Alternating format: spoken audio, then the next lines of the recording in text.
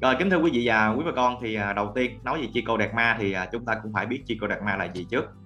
Thì kính thưa quý vị, chi cô Đạt Ma đó là tên của một cái loài nấm và đây là một cái con nấm có lợi.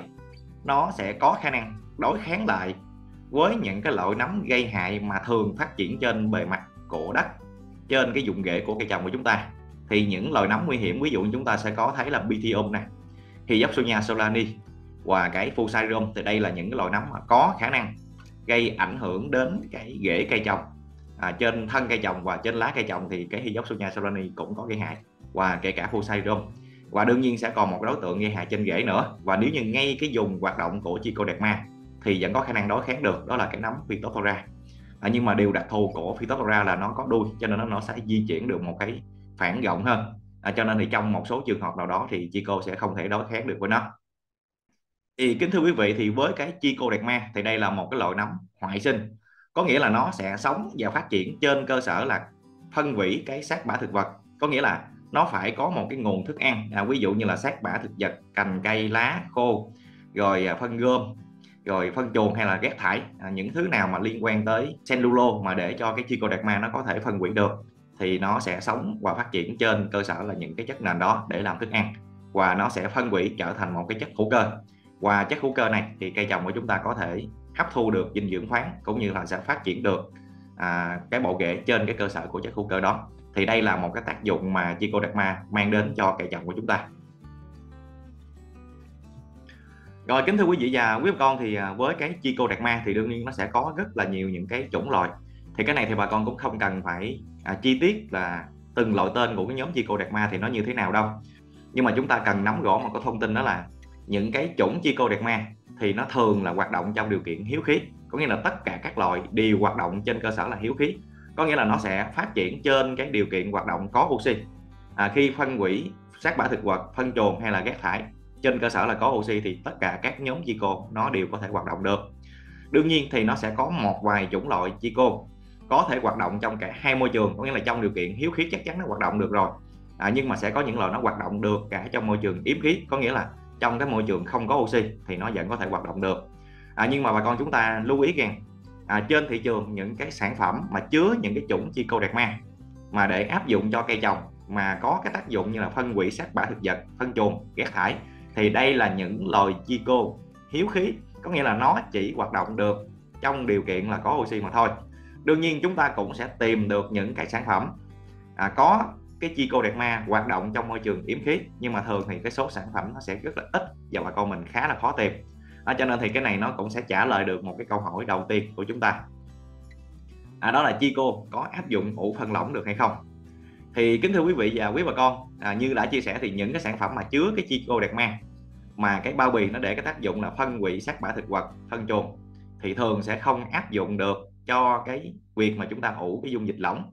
Có nghĩa là trong cái điều kiện này chúng ta mở như thế này thì cái oxy nó rất là ít. Mà thường thì chúng ta ủ phân thì chúng ta sẽ ủ trong điều kiện yếm khí có nghĩa là chúng ta sẽ đậy kính và không để cho cái ánh sáng nó gọi vào. À, cho nên thì trong cái điều kiện ủ này thì thường người ta sẽ sử dụng những cái chế phẩm vi sinh chiên để ủ lỏng ví dụ như là em hay là một số cái lò nấm vi sinh hoạt động yếm khí thì à, chúng ta mới áp dụng được cho cái việc ủ phân lỏng. Còn thường là với những cái chi cô mà đem phân hủy sát bã thực vật phân chuồng thì thường đó là những loài chi cô mà chỉ hoạt động hiếu khí cho nên thì chúng ta chỉ áp dụng được trên nền đất. Và trong điều kiện có oxy đầy đủ thì cái Chico nó hoạt động mới có hiệu quả. À, cho nên thì đây cũng sẽ là một cái vấn đề rất là quan trọng mà bà con mình cũng thường thăm hỏi trong thời gian qua. Rồi kính thưa quý vị và quý bà con thì chúng ta thấy rõ ràng là cái Chico mình khá là dễ mua nè. Và ngoài ra thì cái giá thành của nó cũng không gọi là cao. À, cho nên nếu như mà thật sự nó đối kháng được với nấm bệnh thì chúng ta có một cái suy nghĩ là liệu rằng chúng ta sử dụng nhiều lần hơn? Để cái mặt số Chico trên mặt đất nó càng dày càng tốt thì như vậy có phải là nó sẽ đối kháng với nấm bệnh được tốt hơn hay không? À, ví dụ như là chúng ta sẽ áp dụng là chúng ta kết hợp với phân bón thì có thể là chúng ta áp dụng với phân bón lỏng cũng được mà bởi vì cô chi cô pha được thì chúng ta áp dụng với phân bón lỏng được nè. Chúng ta cộng với hữu cơ chúng ta gãi cũng được. À, chúng ta kết hợp với chất kích rễ như humic cũng được hoặc là chúng ta cộng cùng với những cái dòng phân bón như là phân chuồng hay là phân trùng quế hay là phân bò hay là phân dơi thì hầu hết là chúng ta đều kết hợp với chi cô để xử lý được hết. Và trên một năm thì chúng ta có rất là nhiều lần sử dụng phân bón. Như vậy thì mỗi lần như thế đều cộng chi cô cho giọng được hết. Thì có được hay không? Thì liệu rằng nó có mang lại một hiệu quả tốt hay không? Thì kính thưa quý vị là không nha. À, bởi vì bà con mình biết là cái chico nó hoạt động trên một cái đơn vị diện tích có nghĩa là chúng ta đang nói trên cái bề mặt đất của cây trồng đi. Thì trên một mét vuông nó tối đa bao nhiêu con thì nó chỉ là bao nhiêu con thôi. Thì bà con mình có thể hiểu như thế chứ chúng ta có vừa bỏ một ký vô một mét vuông đi chăng nữa thì cái mật độ chico nó sinh sống được cũng chỉ ở mức đó. Nhưng mà nếu như bà con mình đảm bảo đúng liều lượng và chúng ta sử dụng đúng kỹ thuật thì trên một mét vuông nó vẫn đảm bảo là cái số lượng chico bao nhiêu đó. À, có nghĩa là chúng ta áp dụng ít hay nhiều. Thì cái mật số chico nó không không thể nào tăng theo cái số lượng mà chúng ta áp dụng. Nhưng chúng ta cũng sẽ có số liệu cụ thể là một năm à, mình nên sử dụng bao nhiêu lần thì có thể đảm bảo được cái mật độ chico cao nhất trên một cái đơn vị diện tích đó thì kính thưa quý vị và quý bà con thì trên cơ sở chúng ta biết là với cái nấm chico đẹp ma à, sau khi chúng ta xử lý trên nền đất thì nó có thể sinh sống và nó phát triển trong khoảng từ 6 tháng cho đến 18 tháng. Cái này là trong điều kiện tự nhiên không bị ảnh hưởng bởi những cái út hay là cái phân bón khác mà ảnh hưởng đến cái sức sống của chi cơm quý vị. Như vậy thì chúng ta dựa vào cái thời gian sống của nó thì chúng ta thấy là rõ ràng một năm chúng ta chỉ cần bổ sung một lần nếu như nó sống 18 tháng đúng không? Hoặc là một năm rưỡi chỉ có một lần thôi còn nếu mà chúng ta dựa vào số liệu thấp nhất là nó sống được 6 tháng trên một lần xử lý, thì rõ ràng là một năm bà con mình chỉ cần sử dụng từ 2 cho đến 3 lần là về mặt lý thuyết là đã đủ rồi. Có nghĩa là tương ứng khoảng từ 4 cho đến 6 tháng thì chúng ta sẽ áp dụng chi cô một lần lên trên nền đất của cây trồng. Đó. Như vậy thì bà con mình có thể xem xét trong từ 2 cho đến 3 lần đó, chúng ta sẽ áp dụng sau những lần mà chúng ta xử lý thuốc bệnh trên nền đất. Có nghĩa là sau mỗi lần mà bà con mình xử lý thuốc bệnh thì chúng ta đã tiêu diệt từ nấm có lợi cho đến nấm có hại, chúng ta đều tiêu diệt hết. Và sau đó thì chúng ta sẽ bổ sung chi cô lại. Hoặc là chúng ta sẽ áp dụng cho giai đoạn phục hồi sau thu hoạch. Bởi vì giai đoạn này thì đã qua một cái quá trình mà chúng ta tận thu năng suất rồi, nên là cây sẽ có sức sống yếu, ảnh hưởng bộ rễ và thậm chí nếu như bà con chúng ta lạm dụng phân bón hóa học thì cái pH trên nền đất nó khá là thấp, cho nên thì cái nấm có hại nó sẽ phát triển và nó tấn công cây trồng của chúng ta.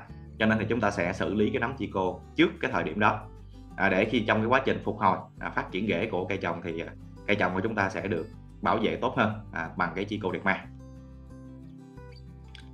rồi kính thưa quý vị và quý bà con một cái vấn đề nữa mà chúng ta cũng sẽ thường gặp đó là thường là bà con sẽ xử lý cái chi cô đơn. Có nghĩa là chúng ta chỉ sử dụng cái sản phẩm chứa chi cô và chúng ta tưới lên trên nền đất mà thôi. Và trên nền đất đó có cái nguồn thức ăn hay không thì chúng ta lại không lưu ý. Cho nên thì cái việc này nó sẽ ảnh hưởng đến cái sức sống và cái sự phát triển cái khả năng nhân mật số của cái chi cô ở trong cái thời điểm đó. Thì bà con mình lưu ý nha, nếu như mà chúng ta xử lý chi cô thì cái hoạt động sống của chi cô nó cần một cái nguồn thức ăn. Thì cái nguồn thức ăn của nó thường sẽ là những cái xác bã thực vật, phân chuồng hay là những cái rác thải nào mà chứa cái cellulo mà để cái chi cô nó có thể sống và hoạt động trên cái nền chất đó. Thì làm cái nguồn thức ăn thì chi cô nó mới có thể phát triển, và nó nhân cái mật số để đảm bảo được là nó sẽ hạn chế cái sự phát triển của những con nấm khác và nó nhân mật số nhanh à, để nó cạnh tranh cái không gian sống với những cái nấm bệnh có hại. Còn nếu như bà con mình xử lý lên trên một cái vùng đất mà hoàn toàn là không có cái nguồn thức ăn cho chi cô thì cái khả năng phát triển và sống của chi cô nó sẽ bị giảm đi và thậm chí thì không có nguồn thức ăn thì nó không thể phát triển được. Và nếu như bị ảnh hưởng bởi những cái tác động của thời tiết nữa à, ví dụ như đã không có lá cây đã không có gom thì chắc chắn là mà gặp trong cái trường hợp mà gặp nắng nóng thì chi cô nó sẽ bị nhanh chết hơn à, ví dụ như thế như vậy thì bà con chúng ta lưu ý là khi chúng ta xử lý chi cô thì chúng ta phải xác định được cái nguồn thức ăn. À, ví dụ như là bà con mình phát cỏ nè rồi à, chúng ta cung cấp những cái dòng sát bã thực vật hay là phân trùng vô rồi rồi xong là chúng ta xử lý chi cô hoặc là chúng ta xử lý chi cô trên cái nguồn phân đó rồi sau đó chúng ta mới đem bón cho cây trồng thì cái phương pháp nào cũng được. Hoặc là nếu như không có những cái nguồn thức ăn từ hữu cơ có sẵn trên nền đất thì chúng ta sẽ kết hợp cùng với cái hữu cơ thương mại à, để chúng ta kết hợp với cái chi cô đẹp ma và chúng ta kết hợp lại để chúng ta bón cho cây trồng thì cái phương án này nó mới tạo ra được cái nguồn thức ăn để cho chi nó nhân cái mật số lên. Thì bà con mình lưu ý. À, chúng ta nếu mà áp dụng không có cái nguồn thức ăn cho chi cô thì cái sức sống của chi cô nó sẽ bị giảm hoặc là nó sẽ bị chết đi. Rồi kính thưa quý vị và quý bà con một cái vấn đề sai cách nữa. À, đó là chúng ta phơi nắng và cho ngập nước cái chi cô của mình. À, có nghĩa là chúng ta xử lý chi cô trong điều kiện nắng nóng nhưng mà chúng ta không bảo vệ được chi cô thì kính thưa quý vị với chi cô đẹp ma nó sẽ bị chết. Nếu như mà nhiệt độ cao hơn 30 độ C và chiếu trực tiếp vào cái vị trí của chi cô. Về cái hoạt động sống của chi cô thì nó sẽ hoạt động tốt nhất trong điều kiện từ 25 cho đến 30 độ C. Đây là điều kiện mà nó nhân mật số và nó phát triển tốt. À, đương nhiên thì có một số loại nó sẽ chịu đến cái nhiệt độ lên tới khoảng 45 độ C. À, tuy nhiên nếu như mà cái ánh nắng mặt trời mà chiếu trực tiếp vào chi cô thì cái khả năng gây chết nó rất là cao à, cho nên thì bà con chúng ta lưu ý khi mà chúng ta xử lý chi cô cho cây trồng thì chúng ta phải có gom tủ hoặc là cỏ tủ để chúng ta che nắng thì cái chi cô nó mới hoạt động được.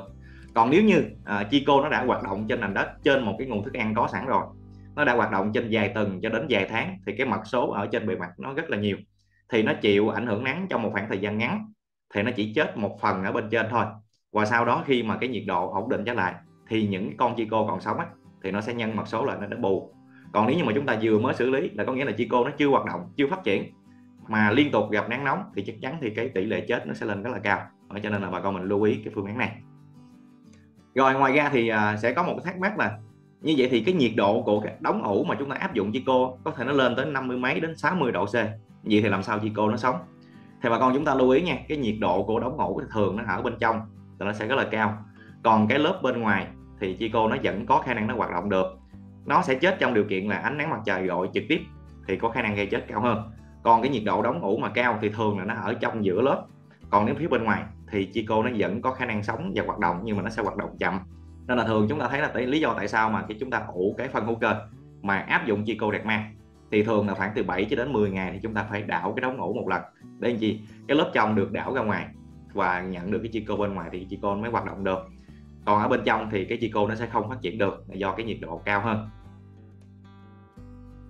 rồi, kính thưa quý vị và quý bà con, thì à, như chúng ta đã cũng đã gõ từ đầu, đó là cái chi cô thì nó sẽ hoạt động trong điều kiện hiếu khí, có nghĩa là trong cái môi trường mà có oxy. Cho nên thì khi mà trên một cái vùng đất đang có chi cô mà bị gặp úng, có thể là do mưa hay là do điều kiện của lũ lụt chẳng hạn. Và nếu như điều này diễn ra liên tục trong nhiều ngày thì à, cái chi cô nó sẽ bị chết do không có oxy để nó duy trì sự sống à, cho nên thì à, trong cái canh tác thì bà con chúng ta lưu ý phải thoát nước tốt à, cho cái vùng đất của cây trồng. Thì cái việc này nó sẽ an toàn luôn cho cả cây trồng của chúng ta.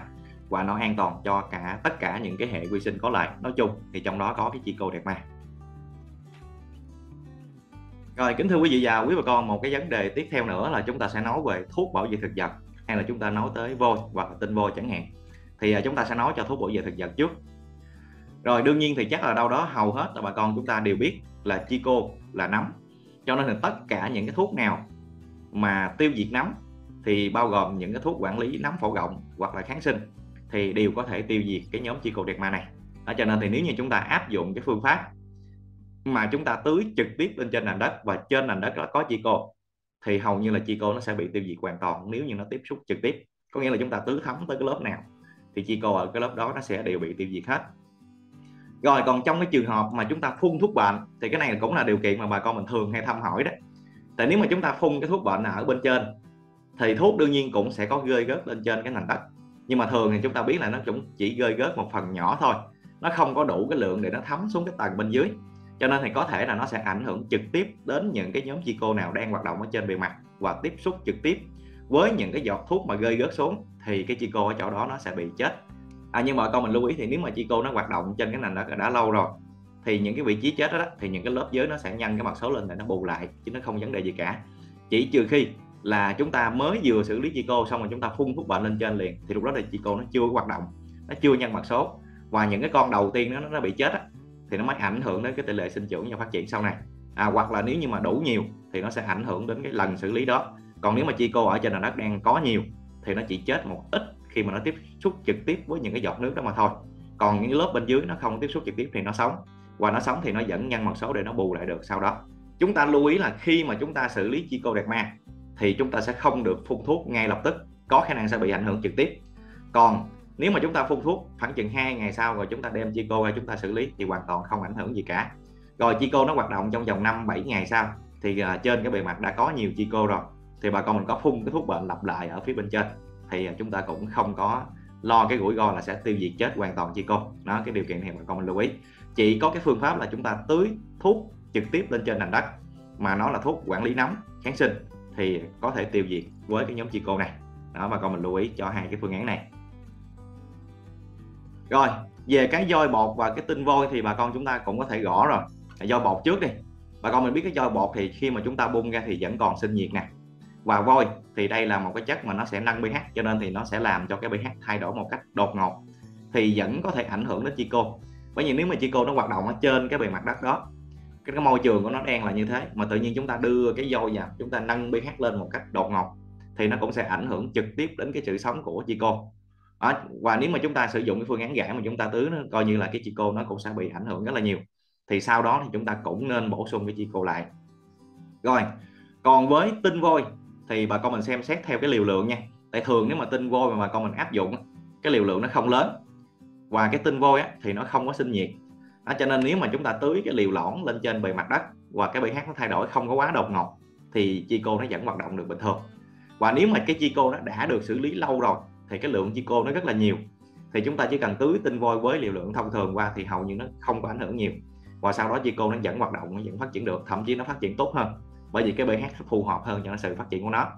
Còn cái việc mà bà con mình phun cái tinh dâu để mà mình rửa cây ở phía bên trên á thì như vậy thì những cái việc rơi rớt lên trên nền đất hầu như không ảnh hưởng đến nhiều cho đến chi cô. Nó không ảnh hưởng nhiều giống như là với những cái thuốc bảo vệ thực vật quản lý nấm mà nó chỉ ảnh hưởng một phần nhỏ hơn. À, có thể là ức chế một tí xíu và sau đó thì à, chi cô nó vẫn có thể phát triển và nó nhân mặt số trở lại bình thường. Rồi như vậy thì chúng ta lưu ý cho những việc này ha. Thuốc bảo vệ thực vật tới là ảnh hưởng trực tiếp. Việc phun rơi rớt lên trên nền đất thì không ảnh hưởng nhiều tinh vôi chúng ta tưới trực tiếp lên trên nền đất, hoặc là chúng ta gãi rồi chúng ta tưới nước lên nền đất thì sẽ ảnh hưởng trực tiếp. Những trường hợp này là sau đó chúng ta phải sử dụng chi cô để chúng ta bù lại mặt số. Còn trường hợp xử lý tinh vôi tưới với liều lượng thấp, ví dụ như là một ký cho 200 lít đến 400 lít, thì hầu như cũng không ảnh hưởng nhiều đến chi cô. Và nếu như bà con mình áp dụng phương án tưới và sau đó chúng ta muốn bổ sung chi cô lại thì cũng tốt thôi, thì cũng không vấn đề. Còn cái phương án mà xử lý tinh vôi ở bên trên là chúng ta phun rửa cây, rửa vườn thì cái vấn đề đó hoàn toàn không ảnh hưởng nhiều đến chi cô. Nên là chúng ta không quan tâm cho cái trường hợp này. Đó thì có ba cái vấn đề đang diễn ra ở đây à, để cho bà con chúng ta lưu ý. Rồi kính thưa quý vị và quý bà con như vậy thì à, chúng ta phải biết là nếu như mà chúng ta đang có ý định xử lý voi, xử lý tinh voi hoặc là chúng ta tưới thuốc bảo vệ thực vật thì trong trường hợp đó chúng ta không nên sử dụng chi cô ở gần cái giai đoạn đó. Bởi vì nếu nếu mà nó nhân mật số chưa được bao nhiêu hết trơn á mà bà con mình đưa thuốc bảo vệ vật chúng ta đưa voi lên thì chắc chắn sẽ bị ảnh hưởng và chúng ta sẽ tốn tiền cho cái lần xử lý chi cô đó. Cho nên chúng ta sẽ áp dụng chi cô sau những cái lần xử lý thuốc bảo vệ thực vật hoặc là voi. Thì bà con mình có thể dựa vào những cái con số sau. Chi cô áp dụng trước thì đưa vô gặp ảnh hưởng rồi cho nên chúng ta sẽ đưa áp dụng sau. Như vậy thì sau khi chúng ta xử lý tinh voi có nghĩa nếu như bà con mình tưới tinh voi trực tiếp lên trên nền đất á, thì trong vòng từ 3 cho đến 5 ngày sau thì chúng ta có thể sử dụng chi cô được rồi. Đó, có nghĩa là trên nền đất đó là tinh voi nó đang hoạt động xong. Và chi cô nếu mà mình xử lý mới thì cái tinh voi trước đó không ảnh hưởng tới nó trong vòng khoảng từ 3 cho đến 5 ngày là chúng ta xử lý được. Rồi, nếu như bà con mình xử lý thuốc bảo vệ thực vật để chúng ta tưới lên trên nền đất, chúng ta quản lý nấm, thì nó sẽ hoạt động trong vòng khoảng 5 cho đến 7 ngày. Và sau đó, bà con mình sử dụng chi cô đạt ma lên trên cái nền đất đó, thì những cái thuốc trước đó cũng không ảnh hưởng đến chi cô, tại vì cái tác dụng của nó đã diễn ra rồi. Và cái nồng độ và cái liều lượng còn lại trên nền đất thì sẽ không ảnh hưởng đến cái chi cô của chúng ta rồi, còn cuối cùng là với vôi. Thì cái thời gian nó phải dài hơn quý vị, tại vì vôi thì vốn vậy nó không có tan. Ngay lập tức mà nó sẽ hòa tan nhờ cái dung dịch đất. Tùy theo cái lượng nước mà bà con chúng ta áp dụng lên trên cái vôi đó, thì nó sẽ có một cái khả năng hòa tan dung dịch đất một cách từ từ từ từ. Thì thông thường nếu như bà con mình áp dụng nước mà hiệu quả, thì khoảng từ 7 cho đến 10 ngày sau thì cái vôi nó tan mới hết ha. Thì lúc đó thì nó sẽ không còn sinh nhiệt nữa. pH đất thì nó đã nâng ổn định rồi, thì sau đó chúng ta xử lý cái cái chi cô đẹp ma lên thì sẽ không ảnh hưởng. Còn nếu mà trước đó cái vôi nó vẫn còn à, cái pH nó chưa có ổn định mà đưa vô thì à, cái chi cô đẹp ma nó vẫn còn bị ảnh hưởng bởi cái vôi này thì nó sẽ bị ảnh hưởng một phần. Và nếu mà chúng ta xử lý mới mà chưa nhân mật số thì cái ảnh hưởng đó nó sẽ đáng kể hơn. Còn nếu mà sau 7 đến 10 ngày mà cái vôi nó đã hoạt động hầu như là hoàn toàn rồi tan tốt rồi và cái pH đất đã được nâng ổn định thì chúng ta xử lý chi cô lại thì vẫn an toàn bình thường à, với cái chi cô của chúng ta. Rồi kính thưa quý vị và quý bà con một trường hợp nữa đó là việc mà chúng ta phối phân bón với cái chi cô đẹp mang. Rồi như vậy thì bà con chúng ta lưu ý những cái chất nào không phối được với chi cô. Thì chúng ta sẽ gặp phân bón, ví dụ như là ure này phân kali, rồi phân SA hoặc là những cái dòng phân NPK ba màu dạng phối trộn mà chứa ure hoặc là kali, hoặc là SA thì đây là những cái sản phẩm mà chúng ta không phối được với cái chi cô đẹp mang. Nó sẽ ảnh hưởng trực tiếp đến cái sự sống của chi cô. Và đương nhiên cái thuốc bảo vệ thực vật, quản lý nấm và kháng sinh thì chúng ta biết rõ rồi. Thì đây là những chất không được phối hợp cùng với chi cô đẹp ma sẽ gây ảnh hưởng trực tiếp và gây chết chi cô rồi chúng ta sẽ xem xét được trong cái trường hợp là nếu như bà con mình áp dụng NPK phức hợp mà ở dạng lượng bón nhỏ thôi à, để chúng ta hòa tan ra mà chúng ta tưới cho cây con ví dụ cây thường là một năm tuổi thì bà con mình thường mình hòa vài chục gram cho một gốc rồi à, chúng ta tính lên lượng tổng rồi xong rồi nữa chúng ta chúng ta đem đi ngâm rồi chúng ta pha loãng rồi sau đó chúng ta pha cùng với chico để chúng ta tưới luôn cho cây trồng. Thì trường hợp này vẫn có thể áp dụng được. Rồi, kính thưa quý vị và quý bà con, còn những trường hợp khác thì chúng ta sẽ phối dễ dàng. Ở đây cũng là một cái biện pháp mà bà con mình thường cũng lo lắng đó. mình thấy là chico nó là nấm, và nó thường là nếu mà nó ở dạng bột thì mình pha thường mình thấy nó tan không hết. Bởi vốn dĩ nó là tơ nấm, cho nên là nó không thể nào nó tan hoàn toàn giống như phân bón được quý vị nhưng mà nó hòa tan ở một cái mức độ nhất định nào đó thì chúng ta vẫn có thể phối hợp với những cái dòng phân bón khác. À, ví dụ như là bà con mình tưới thì chúng ta có tưới humic nè chúng ta tưới NPK hòa tan nè. Rồi thậm chí là phân bón gốc dạng NPK chúng ta cũng có thể hòa tan lượng nhỏ nè.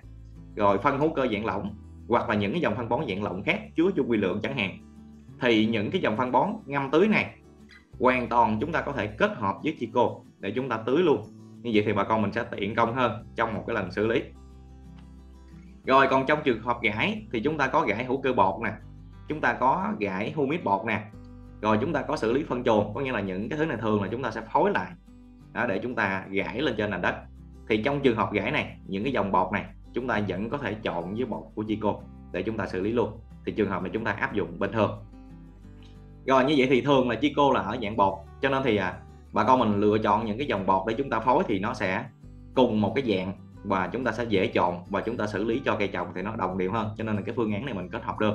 Còn trong cái trường hợp mà chúng ta gãy hữu cơ viên thì chúng ta không kết hợp với Chico được các quý vị. Bởi vì cái hai cái thước hộp này nó không có giống nhau cho nên thì nó sẽ dẫn đến một cái hiện tượng nó là không đồng đều.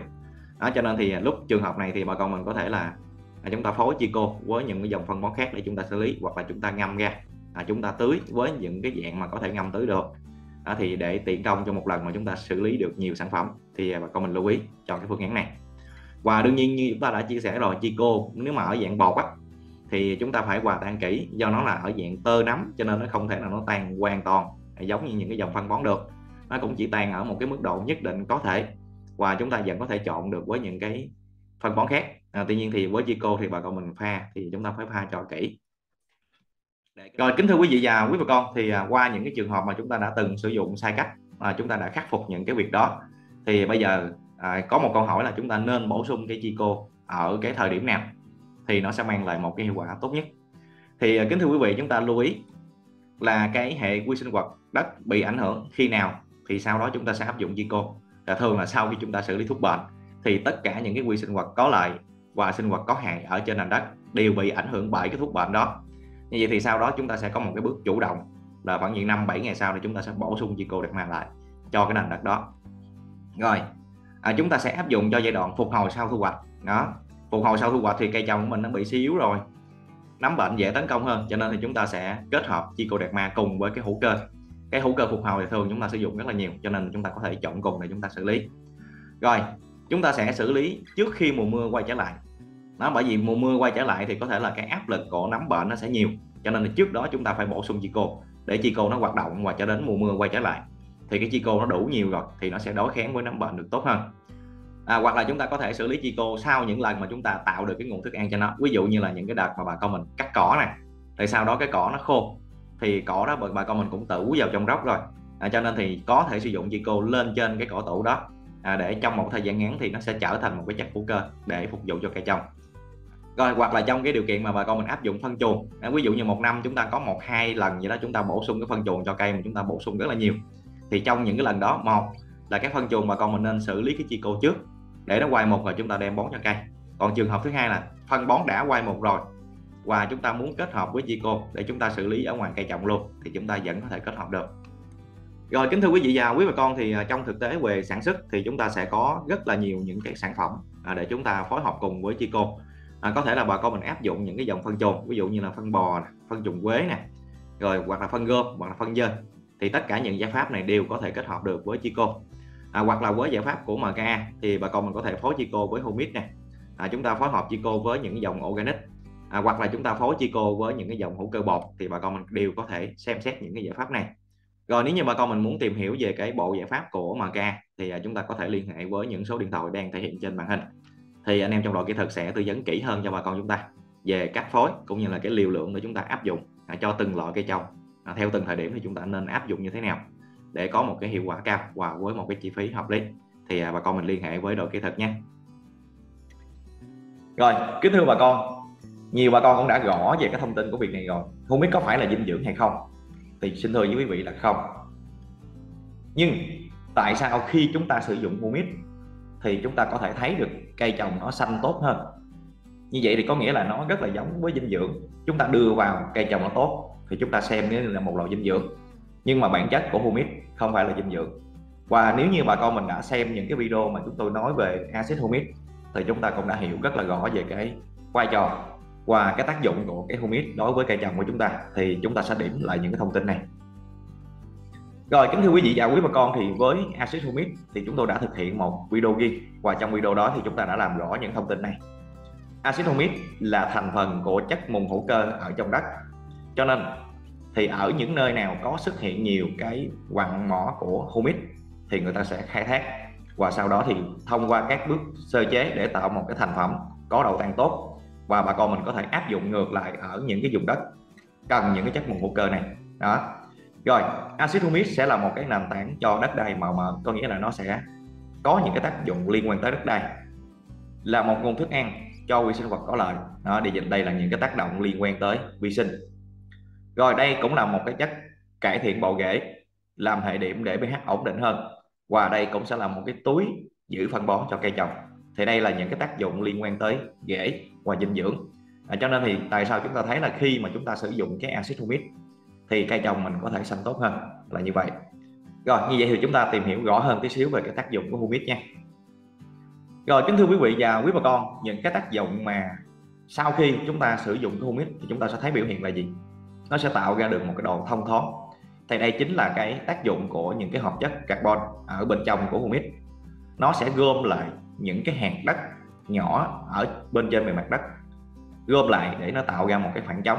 Thì đây chính là cái điều kiện để trao đổi không khí, đặc biệt là oxy sẽ đi vào vùng rễ cải thiện được độ ẩm là nó sẽ tạo điều kiện cho nước từ bên trên thấm xuống bên dưới hiệu quả hơn. Có nghĩa là nó sẽ cải tạo cái bề mặt bên trên. Nhưng mà nếu như áp dụng nhiều thì nó sẽ tích nước ở khu vực đất ở phía dưới. Và đặc biệt là với mùa mưa thì có thể gây ra úng nếu như bà con mình làm dụng nhiều cái humic rồi, đây sẽ là một cái túi để giữ dinh dưỡng. Có nghĩa là nó sẽ dự trữ dinh dưỡng bên trong những cái hợp chất của humic đương nhiên nó giữ cũng ở một cái mức độ nhất định nào đó. Thì cái việc này nó sẽ giúp cho cái cây trồng của chúng ta hấp thu dinh dưỡng hiệu quả hơn. Và đồng thời thì với humic thì nó cũng sẽ bẻ gãy các cái liên kết của dinh dưỡng để giúp cho cái việc hấp thu của cây trồng được tốt hơn. Rồi, thức ăn cho vi sinh vật có lợi. Có nghĩa là khi mà vi sinh vật có lợi nó phát triển được thì nó sẽ phân giải lại những cái nguồn dinh dưỡng dư thừa hoặc là những cái nguồn dinh dưỡng mà cây trồng không thể hấp thu trực tiếp, thì đây cũng là một cái tác động có lợi cho cái bề mặt đất, cũng như là sẽ đưa thêm cái dinh dưỡng cho cái cây trồng của mình. Rồi, cân bằng pH. Có nghĩa là nó sẽ làm một cái hệ điểm để làm ổn định pH hơn, và từ đó thì dinh dưỡng nó sẽ dễ phóng thích và ở pH thấp hoặc là pH cao. Thì dinh dưỡng có thể bị kiềm giữ, còn nếu mà có tác động của humic trong thời điểm đó, thì cái sự điều chỉnh này nó tốt hơn đương nhiên thì cái biên độ của pH thì không phải là chênh lệch quá lớn quý vị à, bởi vì một cái chất nào đó thì nó chỉ có một cái tác dụng trong một cái khoảng pH nhất định nào đó mà thôi. Rồi nhiệm vụ cuối cùng cực kỳ quan trọng đó là nó sẽ cải thiện bộ rễ. Thì khi mà đất mình có nhiều cái lỗ trống thì cái không khí nó sẽ đi vào tạo ra sự thông thoáng giữ ẩm tốt. Thì đó là cái điều kiện để cái rễ non nó hình thành và nó phát triển. Và cái điều này là cái điều chúng ta cần nhất đối với humic có nghĩa là nó sẽ kích thích hình thành và phát triển nên một cái bộ rễ mới rồi, kính thưa quý vị và quý bà con, như vậy thì với cây trồng của chúng ta, việc mà nó hút nước và dinh dưỡng tốt để nó nuôi cây là nó phải tạo ra được cái rễ mới. Và cái trên cái rễ đó là nó có những cái lông hút, thì cái việc hút nước và hút dinh dưỡng mới hiệu quả được. Thì humic nó sẽ làm cái nhiệm vụ đó. Nhưng khi mà cây đã có rễ rồi, nhưng mà không có dinh dưỡng đưa vào, thì cây trồng mình cũng không thể tốt được quý vị. Cho nên, chúng ta lưu ý rằng humic không phải là dinh dưỡng, cho nên xài humic thôi không phải là đủ. Có thể là humic là một cái bước để chúng ta thực hiện trước để tạo ra một cái rễ tốt. Rồi sau đó chúng ta đưa dinh dưỡng vào thì nó sẽ hiệu quả hơn. Còn nếu mà chúng ta chỉ sử dụng humic mà chúng ta thấy được cây trồng của mình tốt thì nó sẽ là những cái nguồn dinh dưỡng khác nhau. Có thể đó là cái dinh dưỡng có sẵn từ trong đất. Bởi vì đất đai chúng ta còn màu mỡ hoặc là chúng ta mới áp dụng cây trồng một, hai năm thì cái lượng dinh dưỡng nó cần chưa nhiều. Và cái nguồn dinh dưỡng trên đất nó còn sẵn và đủ để đáp ứng cho cây trồng thì cây trồng của chúng ta có thể xanh tốt mà chúng ta không cần cung cấp dinh dưỡng nhiều. Trường hợp thứ hai, đó là sau một cái mùa vụ mà bà con mình cung cấp rất là nhiều những cái phân bón nhưng mà không có vi sinh vật để phân giải, hoặc là đây là những cái chất đã bị cố định mà rễ cây trồng nó không thể hấp thu được. Nhưng mà sau khi chúng ta sử dụng humic thì cái hệ vi sinh vật nó sẽ phân giải được, nó tạo ra một cái nguồn dinh dưỡng mới để nó cung cấp ngược lại cho cây trồng. Đương nhiên, với những cái trường hợp này thì dinh dưỡng nó sẽ không đủ nhiều. À, để nó đáp ứng cho những cái cây lâu năm hay là những cái cây mà bước vào những cái giai đoạn quan trọng mà cần dinh dưỡng nhiều hơn, giống như giai đoạn hoa hoặc là giai đoạn trái.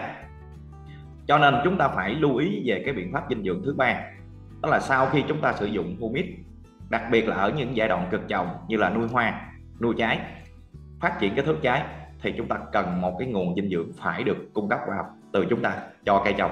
Đúng giai đoạn, thì khi mà humic nó tạo rễ được, thì bộ rễ này phát triển hút nước được và phải có dinh dưỡng chúng ta cung cấp vào, thì cái cây dầm của mình nó mới phát triển được. Chứ chúng ta không dựa vào humic mà xem như nó là một loại dinh dưỡng, thì trong những giai đoạn quan trọng như thế này thì nó sẽ không mang lại hiệu quả tốt. Và đôi khi nếu mà chúng ta lạm dụng humic thì có thể gây ảnh hưởng trực tiếp đến những cái giai đoạn quan trọng như giai đoạn hoa và giai đoạn trái. Thì đây chính là cái vấn đề đầu tiên mà chúng ta đã hiểu sai về những cái sản phẩm mà chứa humic rồi, như vậy thì chúng ta thấy được vai trò là chúng ta thấy được cái tầm quan trọng về việc phát triển rễ và ảnh hưởng đến quy sinh vật thì bà con chúng ta sẽ có một tâm lý của vấn đề thứ hai đó là chúng ta sẽ xài humic nhiều hơn. À, bởi vì hiện nay chúng ta có rất là nhiều những cái nguồn liên quan tới sản phẩm của humic và nó sẽ có giá thành trên lệch khác nhau. À, có thể là có những loại chỉ vài ba chục ngàn một ký cho đến những loại bảy tám chục ngàn một ký và có những loại trên 100 ngàn một ký.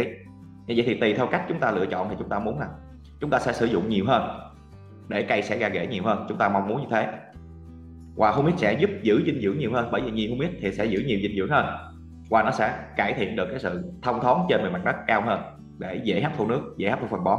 Đó là cách chúng ta nghĩ, và chúng ta sẽ cung cấp nhiều hơn. Có thể là trong một cái quy trình nào đó, chúng ta cung cấp nhiều lần hơn, hoặc là trong một lần bón, chúng ta sẽ đưa nhiều humic hơn. Như vậy thì việc này có đúng hay không? Thì kính thưa quý vị, bất cứ một cái chất hay là một cái sản phẩm, hay một cái loại dinh dưỡng nào đó mà chúng ta đưa vào cây trồng, nó chỉ tốt ở một cái liều lượng phù hợp và nó phải tùy điều kiện nữa. Có nghĩa là gì?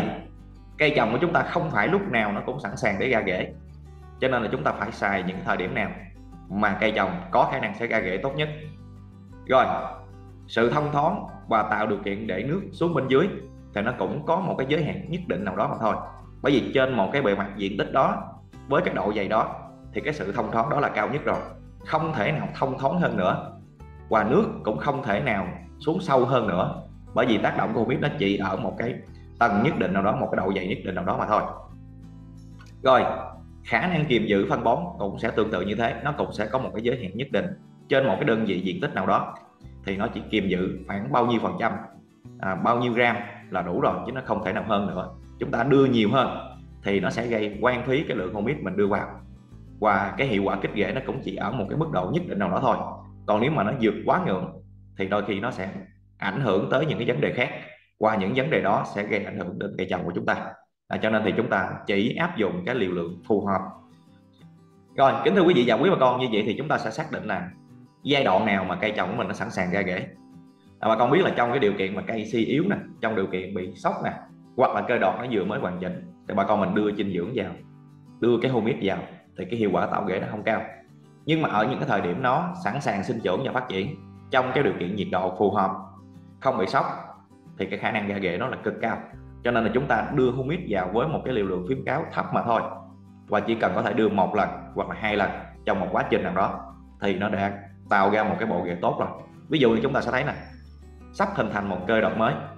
Vừa hoàn thành một cơ đọt, bà con mình kích rễ liền là chắc chắn nó sẽ không ra. Nó phải có một cái khoảng thời gian nghỉ ngơi rồi bà con mình đưa humic lại chúng ta kích rễ thì khả năng ra rễ là cao hơn. Rồi giai đoạn cây nuôi cơi có nghĩa là bắt đầu nó hình thành lá mở lá. Thì đây là cái thời điểm mà chúng ta tạo rễ dễ dàng nhất. Rồi giai đoạn nuôi hoa có nghĩa là cái giai đoạn mà búp phát triển nụ phát triển thì chúng ta đưa dinh dưỡng vào thì cây dễ ra rễ hơn. Giai đoạn nuôi trái có thể là qua giai đoạn rụng sinh lý đến giai đoạn phát triển kích thước. À, hoặc là ở một tháng sau khi đậu trái thì bà con mình đưa dinh dưỡng vào đưa cái humic vào thì chúng ta tạo rễ sẽ dễ dàng hơn. Rồi, phục hồi sau thu hoạch. Đây là cái thời điểm mà cái cây trồng mình suy yếu và cái bộ rễ đã bị hư tổn trước đó. Nên là cái việc cung cấp nhiều lần để thúc đẩy cái việc hình thành rễ trở lại để hỗ trợ cho cây là một cái việc mà chúng ta cần thiết. Hoặc là phục hồi sau khi suy yếu, có thể nó bị nấm bệnh hay là một số trường hợp nào đó mà dẫn đến sự suy yếu của cây trồng. Và chúng ta cần kích rễ tạo rễ lại thì humic cũng sẽ được áp dụng trong trường hợp này. Hoặc là ở một cái giai đoạn nào đó mà chúng ta cần cây hấp thu nhiều dinh dưỡng hơn để nuôi một cái lượng trái lớn, một cái lượng hoa lớn. Nhưng mà chúng ta thấy bộ rễ bên dưới vẫn còn yếu, bộ lá nó yếu đi, thì chúng ta sẽ tạo thêm rễ để tạo điều kiện hấp thu dinh dưỡng tốt hơn. Thì chúng ta mới đưa humic vào rồi, một cái lưu ý với humic nữa quý vị, đó là mùa khô. Thì chúng ta sẽ sử dụng humic nhiều hơn so với mùa mưa. Đó, bởi chúng ta cần khả năng giữ ẩm này, cần khả năng tưới nước và thấm xuống bên dưới ở cái mùa nắng thì nó nhiều hơn so với mùa mưa qua cái mùa khô thì cái sự ảnh hưởng dẫn đến vấn đề cháy rễ nó cao hơn. Còn nếu như mùa mưa mà bà con mình thoát nước tốt thì hầu như nó cũng không có ảnh hưởng gì đến bộ rễ cả. Rồi cái việc mà chúng ta kích thích cái việc tạo rễ thì không phải chỉ một mình humic là đủ nhưng mà đây là humic nó đóng góp rất là nhiều những cái vai trò và tác dụng. Nhưng để mang lại một cái hiệu quả cao nhất thì vẫn phải cần phối với những cái chất khác. À, ví dụ như chúng ta có thể phối hợp với GA3 chúng ta có thể phối hợp với NA phối hợp với tăng trưởng phân cá amino acid hay là những cái dòng phân bón chứa lên cao ở dạng NPK hòa tan. À, ví dụ như là 10 60 10 hoặc là một cái chất mà sẽ giúp giữ nước giữ ẩm tốt hơn nữa đó là hữu cơ để tạo điều kiện cho cái bộ rễ cây trồng nó hình thành một cách chân tru hơn mạnh mẽ hơn và nhiều hơn. Rồi kính thưa quý vị và quý bà con như vậy thì à, đến đây thì chúng ta hiểu là sử dụng humic nhiều không hẳn là tốt nó sẽ gây quan phí và có thể gây ảnh hưởng cây trồng cho nên thì chúng ta sẽ sử dụng với một cái liều lượng phù hợp và tùy theo điều kiện nắng mưa. À, tùy theo giai đoạn đó là phát triển lá hay phát triển hoa hay là đậu trái mà chúng ta sẽ có cách sử dụng khác nhau. Và chúng tôi luôn có những cái khuyến cáo đi kèm cho từng giai đoạn. Như vậy thì để tìm hiểu về bộ sản phẩm humic của Mecomagi thì bà con mình lưu ý ha. Ở đây chúng tôi sẽ có hai nhóm. Nhóm thứ nhất đó là dạng bột hay là quẩy nhỏ thì nó sẽ có dạng gói 1 kg và 30 kg để cho bà con chúng ta lựa chọn. Rồi nếu như bà con mình thích áp dụng dạng viên thì chúng tôi sẽ có túi 5 kg ở dạng viên. Về sử dụng humic với cái ăn trái từ một năm trở lên thì bà con mình có thể xem xét khoảng từ 20 cho đến 50 gram trên một cây. Cái này nó sẽ tùy thuộc vào cái đường tính tán của cây là lớn hay nhỏ. Cây trồng của chúng ta lâu năm hay là chỉ mới một, hai năm. Còn nếu như bà con mình tính trên một cái đơn vị diện tích, ví dụ như với rau màu hoặc là cây lúa, thì chúng ta có thể tính cái lượng là khoảng từ 8 cho đến 10 kg trên một hecta đó, thậm chí là một trong một số trường hợp gọi là bổ sung thôi. Thì chúng ta cũng có thể áp dụng túi 5 kg cho một hecta thôi là đủ rồi. À, bởi vì cái việc kích rễ nhiều hay ít và chúng ta cần kích rễ nhiều hơn hay là chỉ là hỗ trợ cho cây trồng thôi thì cái đó là do chúng ta lựa chọn. Và ngoài ra thì chúng ta còn phối hợp với những cái chất khác nữa.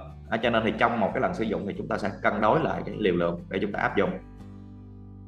Rồi về với dạng bột hoặc là dạng vẩy nhỏ thì đây sẽ là cái phương án mà bà con mình sẽ pha loãng để chúng ta tưới trực tiếp lên trên nền đất của cây trồng hoặc là chúng ta kết hợp với phân bón hữu cơ dạng bột để chúng ta gãi.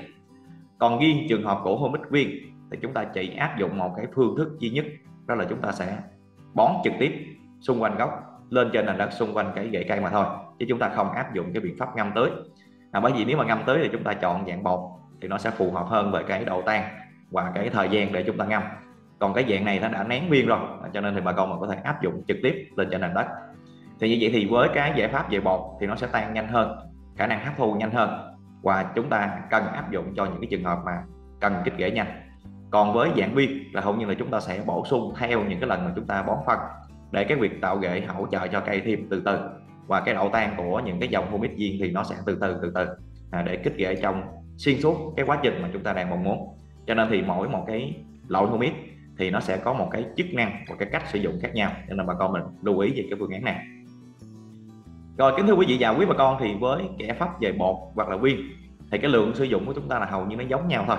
Với cây ăn trái thì bà con có thể sử dụng khoảng từ 20 cho đến 50 gram cho một cây. Hoặc là bà con mình tính theo diện tích và có thể là tính cho rau màu hay lúa thì có thể chúng ta áp dụng khoảng từ 8 cho đến 10 kg trên một hecta về phương án cho rau màu hoặc là cây ăn trái thì bà con mình áp dụng phương pháp tưới thì chúng ta có thể tính là khoảng từ 1 cho đến 2 gram cho một lít nước. Đây là phương án mà chúng ta pha loãng và không cần phải tưới xả thì chúng ta sẽ tưới trực tiếp lên trên nền đất xung quanh cái vùng rễ cây và ra ngoài tán những cái nơi mà chúng ta muốn cây trồng phát triển rễ đến đó. Thì chúng ta sẽ tưới và chúng ta sẽ tưới theo cái nhu cầu nước của cây. Đó, ví dụ như cây một hai năm thì có thể là 5 lít 10 lít 15 lít. Còn cây 6 7 năm thì có thể nó lên tới 40 lít 60 lít. Thì lúc đó nó tùy theo cái đường kinh tán và cái độ thấm ướt của cái bề mặt đó mà chúng ta sẽ tưới theo cái nhu cầu đó mà thôi. Rồi hoặc là à, bà con chúng ta có thể tưới cái dung dịch đậm đặc khi mà chúng ta tính trên tổng lượng tổng số lượng cây của mình và tổng lượng humic rồi chúng ta pha vào một cái dụng cụ đó thì chúng ta sẽ tưới ở diện đậm đặc. Rồi sau đó thì chúng ta có thể sử dụng hệ thống tưới à, để chúng ta tưới xả lại. Thì lúc đó sẽ pha loãng cái dung dịch đậm đặc mà chúng ta đã tưới trước đó. Đương nhiên việc này thì bà con mình phải áp dụng ngay lập tức à, để không ảnh hưởng đến cái rễ cây trồng. Khi mà chúng ta tưới một cái gì đó mà cái hàm lượng quá đậm đặc thì cây trồng nó sẽ không thể tiếp nhận được mà chúng ta phải có phương án pha loãng ngay đó, cho nên thì bà con mình có thể áp dụng ngay lập tức và phải xả nước ngay lập tức thì mới có thể mang lại cái hiệu quả hoàn toàn tốt và không ảnh hưởng đến rễ cây trồng của chúng ta. Rồi do là cái việc mà chúng ta sử dụng cái humic bột thì chúng ta sẽ pha loãng cho nên thì chúng ta có thể kết hợp với những dòng phân bón dạng lỏng. À, ví dụ như là organic nè hoặc là phân cá thì bà con mình cũng có thể kết hợp với phương án khoảng từ 1 cho đến 2 cc cho một lít nước. Hoặc là bà con mình chọn đạm cao thì chúng ta cũng có thể pha loãng cùng với humic với liều khoảng từ 1 cho đến 2 gram trên một lít nước. Hoặc là bà con mình muốn kích rễ mạnh mẽ hơn đặc biệt là với những cây suy yếu thì chúng ta có thể chọn khoảng từ 2 cho đến 3 gram à, trên một lít nước với cái 10 60 10 và chúng ta có thể kết hợp cùng với humic à, hoặc là bà con mình chọn những cái giải pháp về kích thích tăng trưởng. À, ví dụ như chúng ta chọn cái gói tăng trưởng này là 25 gram cho một phi 200 lít thì bà con mình cũng có thể kết hợp cùng với humic để mà chúng ta tưới lên trên cái dùng rễ của cây trồng như vậy thì đây sẽ có rất là nhiều những cái giải pháp mà bà con mình có thể kết hợp. Cho nên thì tùy theo điều kiện sinh trưởng của cây trồng mà chúng ta sẽ lựa chọn những cái sản phẩm phù hợp để chúng ta kết hợp với humic rồi nếu như quy trình này thì bà con chúng ta chưa rõ thì bà con mình có thể liên hệ về với đội kỹ thuật của Magi à, thông qua những số điện thoại đang thể hiện trên màn hình. Thì anh em trong đội sẽ hướng dẫn bà con mình kỹ hơn à, cho mỗi cái thời gian nào thì chúng ta sẽ chọn cái giải pháp như thế nào để phù hợp về cái chi phí và cái hiệu quả để thúc đẩy cái cây trồng của chúng ta sinh trưởng và phát triển. Rồi kính thưa quý vị và quý bà con nếu như bà con mình không áp dụng dạng phương pháp tưới thì chúng ta có thể áp dụng tình huống gãy gốc. À, tuy nhiên thì dạng bột thì chúng ta không thể nào mà gãy đều lên trên một cái cây trồng mà với cái hàm lượng nó chỉ có 20 gram thì chúng ta không thể gãy được. À, cho nên thì sẽ có một cái phương pháp nữa là chúng ta sẽ phối hợp với hữu cơ. Thì có thể là bà con mình chọn cái hữu cơ bột ở dạng thương mại nó vô bao sẵn cho mình rồi đó rồi trường hợp thứ hai là bà con mình chọn cái phân chuồng tự ủ. Rồi tùy theo nhu cầu từng loại của từng cây. À, ví dụ như chúng ta sẽ chọn là 20 gram humic cho một cây và chúng ta chọn là một ký hoặc hai ký phân chuồng thì chúng ta cứ tính tổng lượng trên vườn mình bao nhiêu ký hữu cơ hoặc tổng lượng humic trên vườn là bao nhiêu.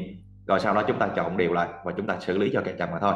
Thì cái đó là gọi là cái phương án kết hợp nhiều sản phẩm trong một lần để chúng ta tiện công nhưng mà chúng ta sẽ xử lý theo nhu cầu của từng loại à, chứ nó không có một cái tỷ lệ phối hợp giữa cái humic và cái hữu cơ nha quý vị. Quý vị lưu ý cái trường hợp này.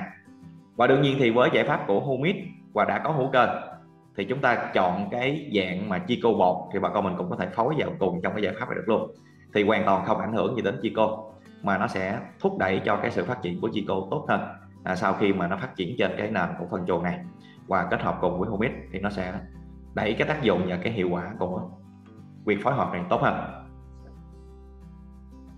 rồi kính thưa quý vị và quý bà con thì ngược lại với cái giải pháp về viên à, thì do là cái kích cỡ hạt nó lớn hơn cho nên thì chúng ta sẽ không phối cùng với những cái loại mà có bột mà chúng ta sẽ phối cùng với những loại có dạng viên à, ví dụ như là có hữu cơ viên này có những cái dòng phân bón NPK hoặc là canxi nitrat DB hay là lân dạng viên thì bà con mình đều phối hợp cùng với humic được hết. Nó hoàn toàn không có ảnh hưởng gì đến những cái phân bón này cả. Đó, thì do là cái kích cỡ nó giống nhau cho nên thì bà con mình chọn cái phương pháp gãy gốc và sau đó chúng ta tưới đậm nước để tạo điều kiện cho cái phân bón nó tan. Được rồi. Cái phương án này nó tương đối đơn giản, bà con mình dễ hiểu hơn ha. Rồi về phối hợp ở đây thì nó cũng không có tỷ lệ luôn nha quý vị. Ví dụ như quý vị cho là 20 gram cho một cây là với humic còn à, phân bón thì bà con mình có thể chọn hai ba trăm gram gì đó cho NPK chẳng hạn. Thì bà con mình cứ tính tổng lượng humic và tính tổng lượng NPK rồi chúng ta cứ chọn lại mà thôi. Rồi sau đó chúng ta gãi là được, chứ không có vấn đề gì cả. Rồi kính thưa bà con, đến một cái vấn đề thứ ba đó là liệu rằng là humic có hạ phèn và giải độc được hay không? Mà chúng ta thấy là trong tất cả những quy trình về hạ phèn hay là giải độc cho cây thì đều có sự xuất hiện của humic thì đầu tiên là khẳng định với bà con điều này để chúng ta gõ, rồi sau đó chúng ta sẽ trả lời từng tự nha. Đầu tiên là nó có đóng góp, có hậu trợ cho cái quá trình hạ phèn và giải độc cho cây trồng. Cho nên thì người ta mới khuyến cáo bà con mình áp dụng. Nhưng nó không thể là một cái giải pháp giải quyết chính, mà chỉ là một giải pháp hỗ trợ mà thôi cho nên là bà con mình không hiểu sai vấn đề này mà chúng ta trông chờ humid là một cái giải pháp chính. Mà chúng ta cung cấp humid quá nhiều để mục đích là hạ phèn, để mục đích là giải độc của cơ. Hay là giải độc trong tình trạng mà ngộ độc phong bón gốc hay là ngộ độc về thuốc bảo vệ thực vật thì chúng ta không kỳ vọng những cái việc này được.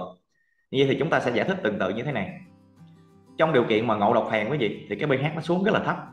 Humid nó sẽ là một cái hệ điểm để giữ cân bằng về cái pH mà thôi. Có nghĩa là trong một cái khoảng biên độ của pH biến động không quá lớn.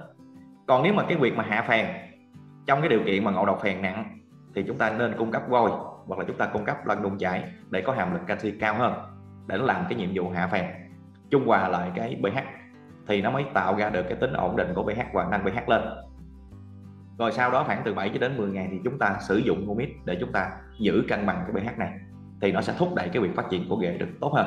Chứ chúng ta không thể nào sử dụng humic nhiều giống như một cái lượng mà chúng ta sử dụng vôi hoặc là nhiều như một cái lượng mà chúng ta sử dụng lên đun chảy đấy, thì chúng ta không thể nào sử dụng nhiều như thế được.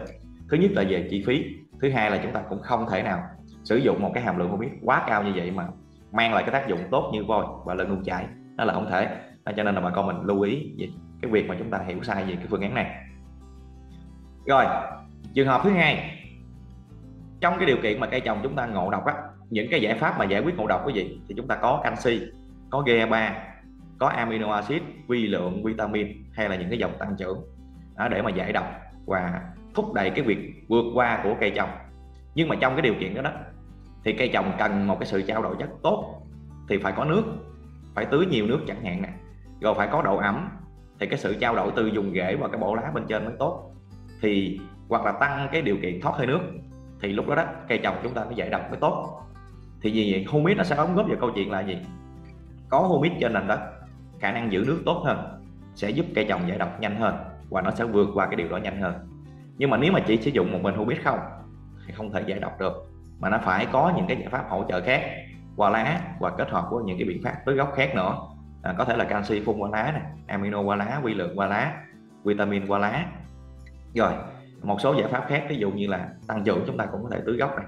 Thì tổng hợp cho tất cả những cái giải pháp này thì cây trồng của chúng ta mới giải độc được à, cho nên là Moomit nó sẽ tham gia vào cái quá trình này để đóng góp và hỗ trợ. Nhưng nó không phải là một cái giải pháp chính cho nên là bà con mình lưu ý về cái việc này. Rồi vấn đề cuối cùng quý vị đó là liệu rằng Moomit có phun qua lá được hay không? Thì kính thưa quý vị là ở Mekong Magi thì chúng tôi sẽ không khuyến cáo về việc này. À, mặc dù là chúng tôi có cả Humix bột Humix viên nhưng mà đều không khuyến cáo về phương án phun. Về lý thuyết là được quý vị. Có nghĩa là về lý thuyết thì humic vẫn có khả năng hấp thu qua lá, nhưng mà thật ra là nó không có mạnh mẽ bằng những cái chất khác, hoặc là nó không có hiệu quả cao hơn so với phương án chúng ta áp dụng qua gốc. Nó cũng có tác động đến sự phát triển của lá, nhưng mà đây là những cái vấn đề mà chúng ta không ưu tiên, bởi vì trong thực tế nó như thế nào? Trong thực tế đa số là chúng ta đang sử dụng những cái sản phẩm humic mà đang áp dụng khuyến cáo qua dùng gốc. Cho nên là cái độ tan của nó có thể là không phù hợp để chúng ta áp dụng vào lá. Hoặc là cái độ tinh khiết để cây trồng chúng ta hấp thu dễ dàng hơn là không có. À, ngoài ra thì liên quan tới cái khối lượng phân tử của nó nữa thì tí xíu chúng ta có phân tích về full width thì bà con mình sẽ hiểu vấn đề này. Rồi vấn đề thứ hai mà chúng ta muốn là gì? Qua gốc là chúng ta đang muốn kích rễ và tạo sự tơi xốp của bề mặt đất. Thì rõ ràng phương án này chúng ta phải cung cấp qua gốc chứ. Đưa lên trên nền đất thì nó mới đúng. Đúng không quý vị? Còn việc hấp thu qua lá thì nó sẽ có giới hạn rất là lớn. Cho nên thì gì? Cái quyền dẫn đến cái hiệu quả trên nền đất và hiệu quả kích rễ thì rõ ràng cái phương án tưới phương án sử dụng trên nền đất nó sẽ mang lại hiệu quả cao hơn. Rồi ngoài ra bà con mình biết là cái humic mà khi bà con mình pha ra nó sẽ có cái màu như thế nào cái độ nhớt nó như thế nào. Mà chúng ta phun trực tiếp lên trên bề mặt lá này, gặp trong điều kiện nắng nóng thì sao? Chúng ta phun dính lên hoa dính lên trái thì sao? Có phải là nó sẽ tạo điều kiện cho nấm bệnh gây hại cây trồng mình dễ hơn hay không? Bởi vì nó ở đó nó tạo ra độ ẩm nó tạo ra cái nguồn thức ăn cho những cái vi sinh vật thì rõ ràng thì nấm bệnh, đôi khi nó sẽ dễ tấn công hơn trong cái giai đoạn đó. Cho nên đây là những cái việc mà chúng ta xem xét. Có thể là về mặt lý thuyết, ở một cái nghiên cứu nào đó thì người ta sẽ áp dụng cái axit humic ở dạng tinh khiết và có thể hấp thu qua lá tốt thì chúng ta mới áp dụng những cái dòng đó được. Còn hiện nay thì đa số chúng ta đều sử dụng cái humic ở dạng khuyến cáo bón gốc mà chúng ta đang áp dụng qua lá thì nó sẽ rất là nguy hiểm thì việc này bà con mình có thể xem xét tùy theo sản phẩm mà chúng ta áp dụng nha. Còn nếu mà à, đơn vị nào họ có khuyến cáo áp dụng qua lá thì chắc là có thể là họ cũng đã nghiên cứu rõ ràng. Thì bà con mình có thể xem xét áp dụng theo liều lượng khuyến cáo đó. Riêng với Mecomagi cũng như là sản phẩm humid của Mecomagi thì chúng tôi sẽ không khuyến cáo phương án này. À, cho nên là bà con mình xem xét kỹ à, khi mà bà con mình áp dụng những cái giải pháp liên quan tới humid của Mecomagi rồi kính thưa quý vị và quý bà con vậy thì mở rộng cái việc này thêm một tí xíu nữa à, nếu như bà con mình muốn áp dụng qua lá thì chúng ta có thể chọn cái axit fulvic vì fulvic là gì? Fulvic nó cũng là một cái thành phần nằm trong cái chất mùn hữu cơ. Có nghĩa là trong một cái sự khai thác với cái hợp chất liên quan tới fulvic thì nó cũng có fulvic trong đó. Nhưng mà cái fulvic này hàm lượng nó nhỏ hơn fulvic rất là nhiều nên là thường người ta không có chú ý tới fulvic hoặc là sau này thì người ta sẽ đem cái fulvic ra ghi. À, bởi vì cái fulvic nó sẽ có một cái khả năng hấp thụ cao hơn à, về lý thuyết là nó cao hơn 5 lần so với humic và cái trọng lượng phân tử nó thấp hơn nên là cái việc nó di chuyển trong cây dễ dàng hơn. Và cái việc hấp thu qua lá nó dễ hơn so với humic cho nên là full wheat hiện nay thì đã có áp dụng những cái sản phẩm ở dạng nước và bà con mình có thể dễ dàng chúng ta pha ra và chúng ta phun lên trên bộ lá của cây trồng và hoàn toàn có thể an toàn cho cây trồng hơn. Thì bà con mình nên xem xét phương án này và chúng ta không nên xem xét về humic mà chỉ xem xét về full wheat mà thôi tác dụng của full width thì à, về rễ thì nó cũng sẽ làm cho rễ dài ra. Có nghĩa là chúng ta vẫn có thể áp dụng phương pháp tưới phát triển mẫu rễ mới phát triển lông hút.